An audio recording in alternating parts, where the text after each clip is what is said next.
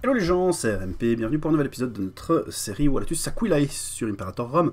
Une série dans laquelle on est toujours en guerre contre la Crète, Sparte et à peu près toute l'Asie mineure. Une guerre dans laquelle on va se contenter très probablement de récupérer... Ok. De récupérer... euh, la Crète et euh, la Messénie, euh, pas, la Messénie, mais la, la Laconie, enfin Sparte quoi.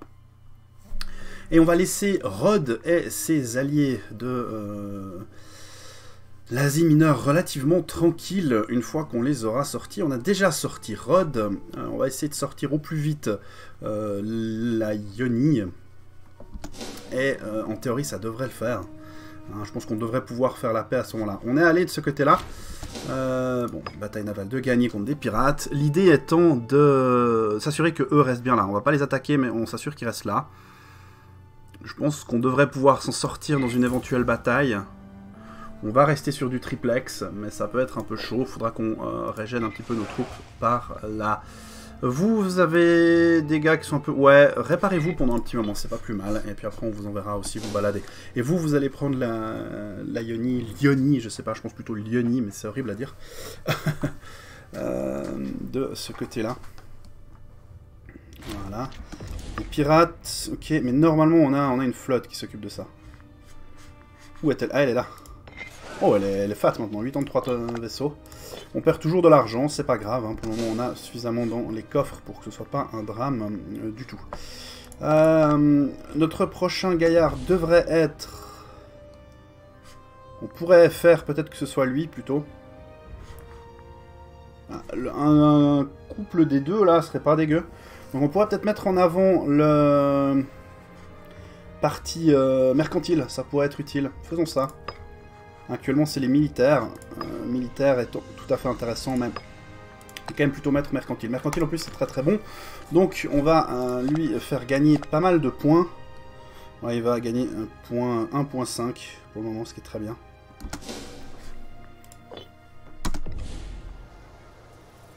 Ok. Euh, Alors, on a quoi ici?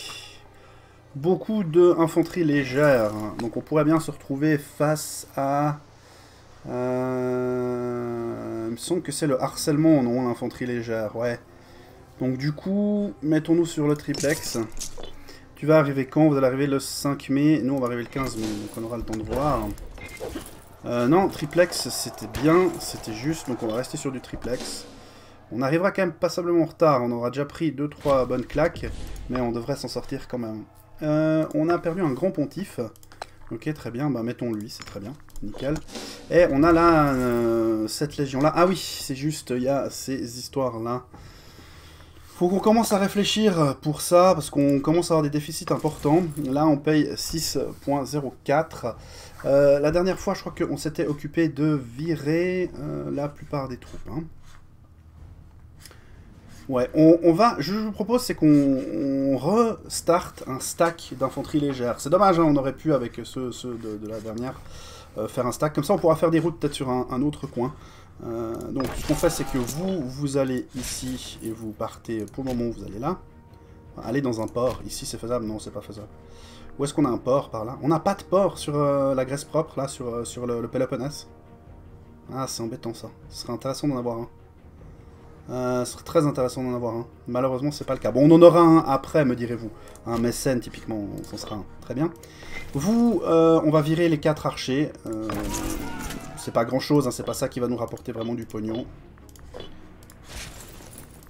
Mais ça, c'est déjà, déjà ça. On paye plus que 4, 8 pour ça. Et on peut y mettre un général, pourquoi pas. Euh, toi, tu pourrais être intéressant, tu as une loyauté personnelle correcte, mais sans plus. Pourquoi tu perds Famille méprisée. Si je te mets là, ta famille est plus méprisée, on est d'accord. T'es un Ogulni. Les Ogulni sont actuellement euh, méprisés. Non, voilà. Donc ta loyauté devrait monter. Voilà, parfait. Donc pas de souci pour le moment en tout cas. Euh, ici, on reste où on en est. Vous, vous continuez à vous soigner. Très bien. Théoriquement, vous, vous, vous bougez et vous allez de ce côté-là pour aller vous battre contre ces futurs pirates ou ces pirates-là pour le moment. Là, on a gagné la bataille qu'on menait. Euh, c'est très très bien. Euh, toi, tu t'en vas un petit peu. Voilà. Et est-ce qu'on peut sortir maintenant peut-être? Alors, je rappelle ce qu'on veut. On veut euh, la caille montinéenne. Oui, on veut la crête crétoise. Volontiers. On veut la Laconie montinéenne. Et c'est tout. Et tout votre argent pendant qu'on y est, parce que ben, pourquoi pas en même temps. Euh, on n'y est toujours pas. Est-ce qu'on peut sortir la Yoni? On peut sortir la Yoni. Est-ce qu'on peut sortir la Yoni pour son argent? On peut sortir la Yoni pour son argent. Va-t'en. Super. Du coup, on doit être Black Flag un peu là. Ok. Euh, juste contrôler si on peut du coup maintenant finir cette guerre. Toujours pas. Donc tu veux que je sorte encore tes autres potes. Ok, bah pas de soucis.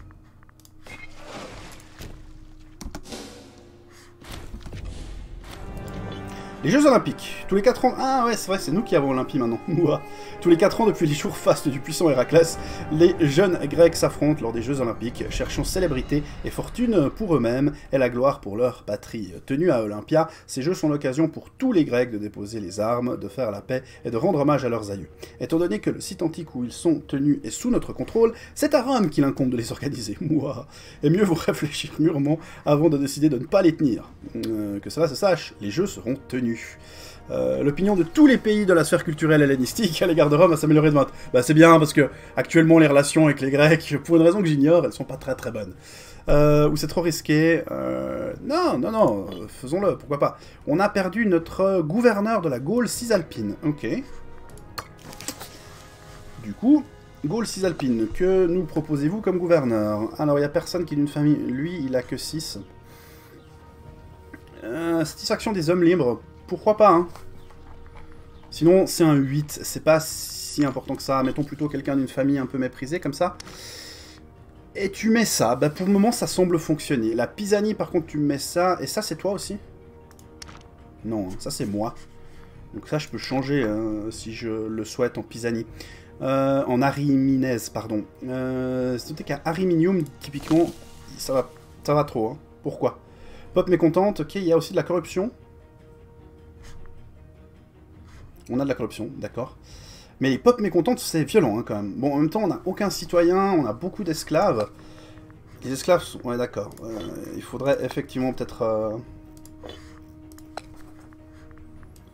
ouais d'accord. ok, bon, on a, on a les points. Je propose qu'on se mette à... à, les mettre en avant, ces gens. Mais ici, typiquement, il n'y a pas trop de soucis. Ici non plus. Là aussi. En fait, c'est vraiment là où il n'y a pas de... Voilà, là, il y a des problèmes aussi.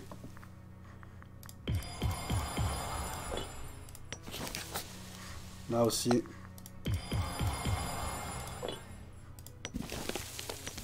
Et là aussi.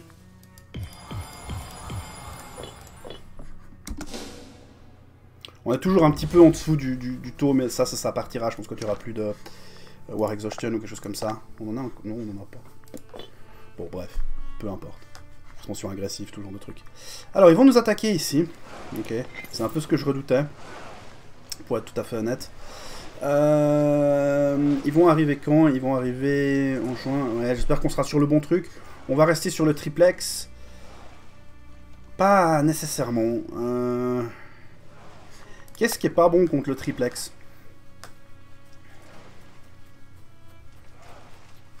Euh, qu'est-ce qui est bon plutôt contre le triplex? La hyène. La hyène serait bon serait bonne aussi. Non, pardon. La hyène serait pas bonne, ok. On va partir en défense résolue parce que c'est le meilleur truc qu'on a. Et je suis pas certain qu'on puisse vraiment faire beaucoup mieux. Et vous, pour le moment, bah, vous allez chercher ça, puis on va voir un peu vers quoi ça se dirige cette bataille. Une famille influente. Euh, Keirondas Leuconide se propose de mettre à la disposition de Rome le vaste réseau de relations de l'illustre famille des Leuconides afin de réorganiser au mieux l'administration. Il est malgré tout curieux qu'il nous approche maintenant à ce propos. De fait, certains se demandent déjà quelles arrière-pensées l'animent, d'autant qu'il ne demande en retour qu'une seule chose, que soit proclamée publiquement la loyauté des Leuconides. Eh bien, pourquoi pas? Nous ne pourrons agir contre les Leuconides durant 5 ans.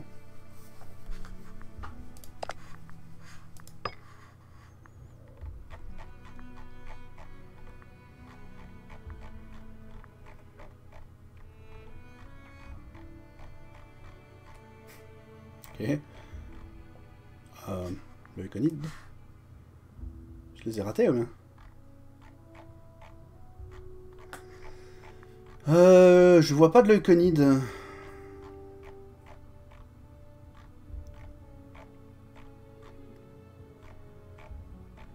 Je vois pas de leuconide pour le moment. Bon. Euh, Rome reçoit des amis au placé pendant 5 ans. Loyauté des provinces plus point 10, c'est bien ça. Coup de changement de politique provinciale, moins 25%. Euh...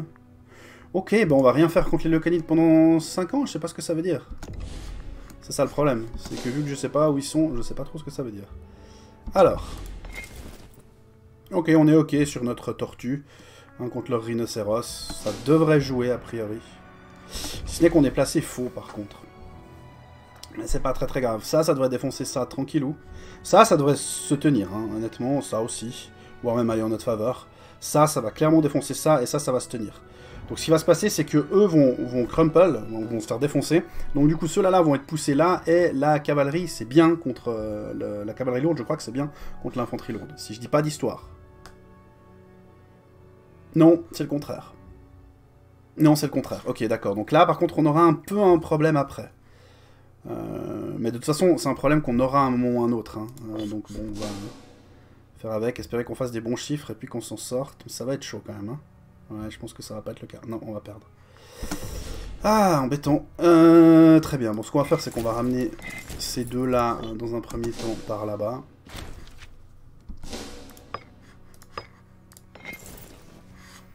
Et puis on va revenir dans cette région-là pour s'occuper de, ce, petit stack. J'avais complètement oublié qu'il y avait ce stack, honnêtement.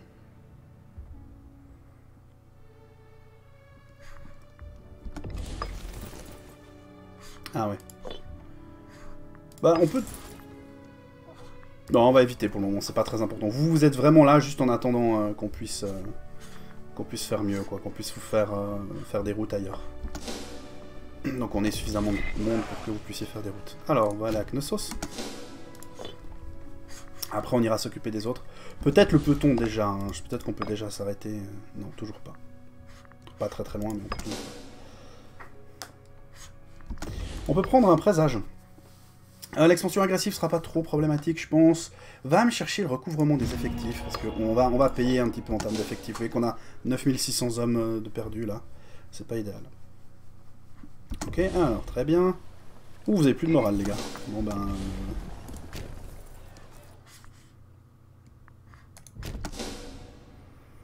allez, comme ça, comme ça, vous allez prendre, récupérer du moral un endroit où il n'y a pas trop trop de problèmes. La dindarie n'est pas loyale. J'avais pas vu ça. Mais alors vraiment pas. Hein. Genre Andreva, euh, ils nous détestent les mecs. Ok. Bon, les pop mécontentes, c'est vite réglé, hein. on les assimile.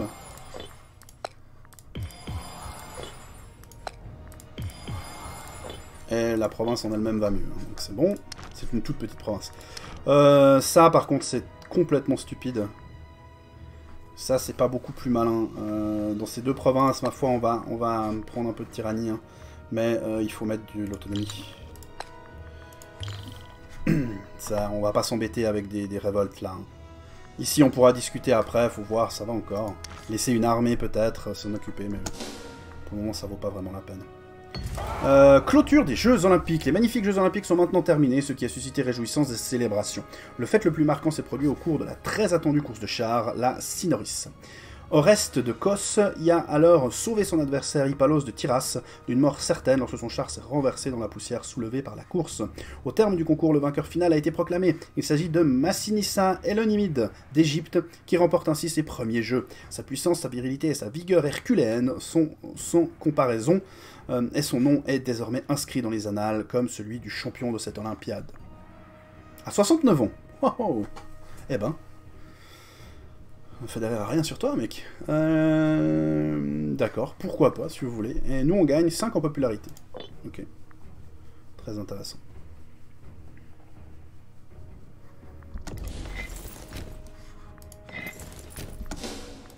On va les encercler, je vous propose. Dans la forêt en plus. C'est très bien. Une fois qu'on aura récupéré notre morale, on va les défoncer.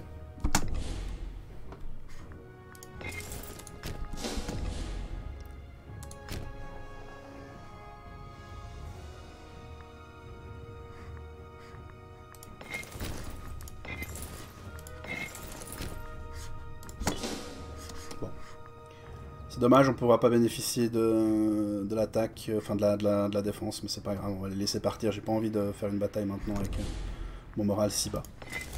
Ça sert pas à grand chose de laisser le...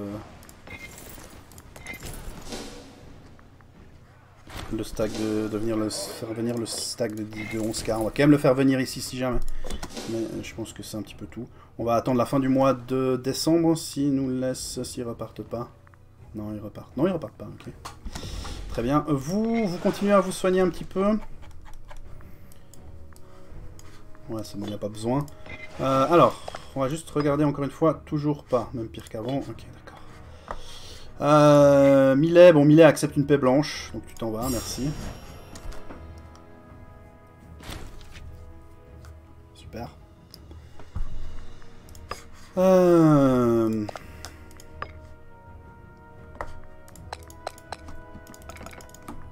J'ai rarement vu ça quand même, ça me paraît étonnant qu'il soit si euh, récalcitrant à faire la paix, dans une guerre clairement perdue. Voilà, bon maintenant ça va plus être le cas, on est d'accord, mais... Ah si. D'accord, si tu veux. Alors... Tu es le 22 janvier et toi tu iras le 7 janvier. Ouais, alors toi tu attends, je sais pas, 15 jours, quelque chose comme ça. Ok, d'accord, on va faire ça comme ça si vous voulez.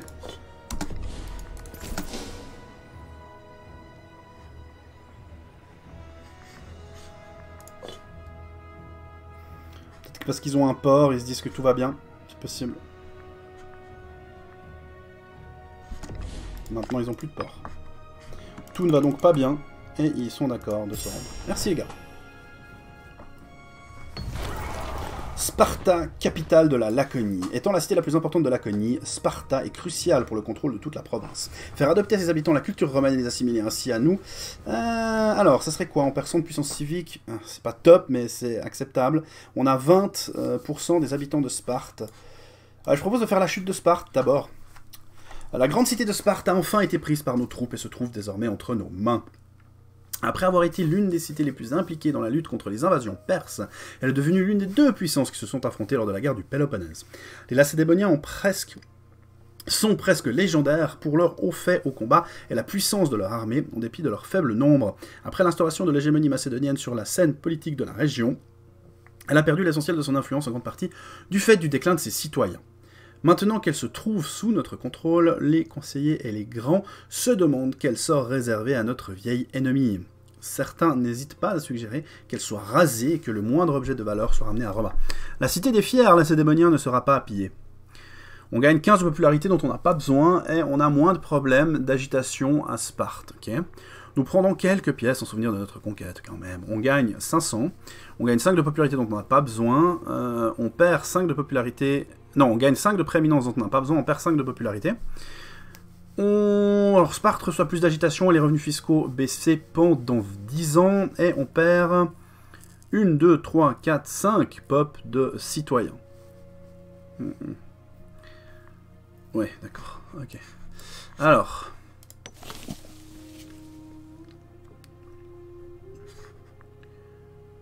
Euh...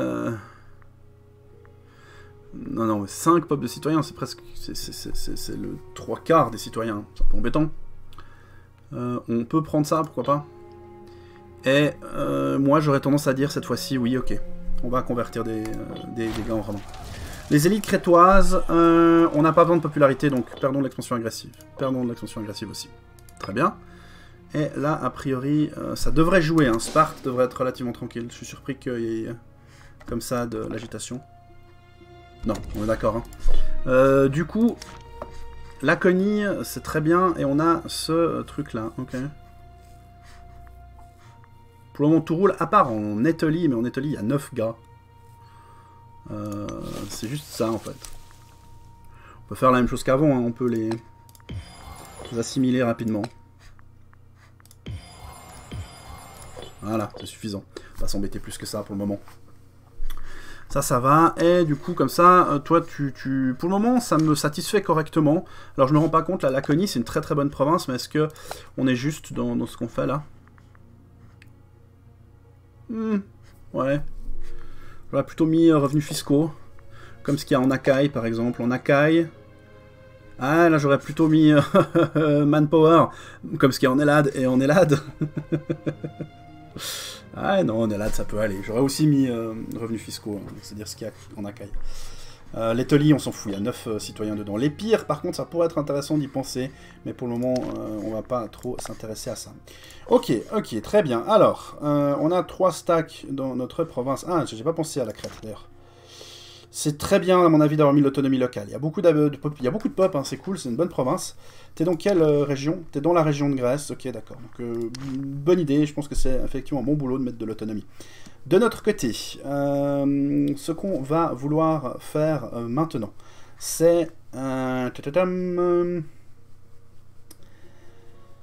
je réfléchis, je réfléchis. on commence à avoir un peu trop de troupes à mon goût.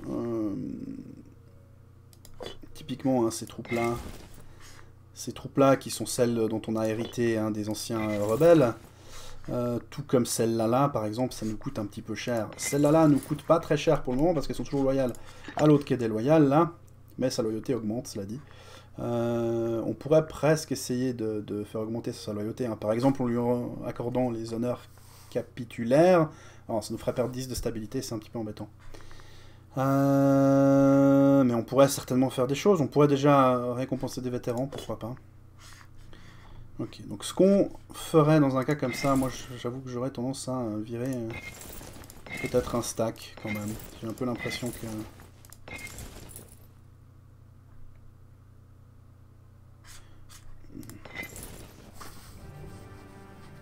Ok, c'est un peu chelou comme ça fait. Faudrait qu'on regarde pour euh, faire des meilleurs stacks. Et il faudrait qu'on regarde un petit peu voir ce qu'on fait de nos troupes. On a déjà bien avancé, hein. là on a une bonne partie de la Grèce. Euh, la prochaine fois, euh, je pense qu'on va regarder du côté de euh, Carthage, mais avant de regarder du côté de Carthage, on va essayer de se rendre un peu plus solvable. Virer quelques... Hein, typiquement là il doit y avoir une ou deux forteresses, il y a une forteresse, on peut déjà la virer, ça sert à rien. Euh, ici, en euh, Grèce, euh, ces deux forteresses, ça sert pas à grand chose de les avoir, les deux. c'est en fait, oui quand même, mais on va dire que non. Dire-moi celle-là. Là. Ici, on peut garder celle-là, on peut en garder encore une ou deux. On peut plus ou moins rester là où on en est. La prochaine fois, il faudra trouver un moyen de devenir solvable. Soit virer un petit peu de troupes, soit aller... Je sais pas, franchement j'en sais rien. On verra, mais on verra tout ça la prochaine fois. Je vous remercie de m'avoir suivi et je vous dis à la prochaine. Bye bye.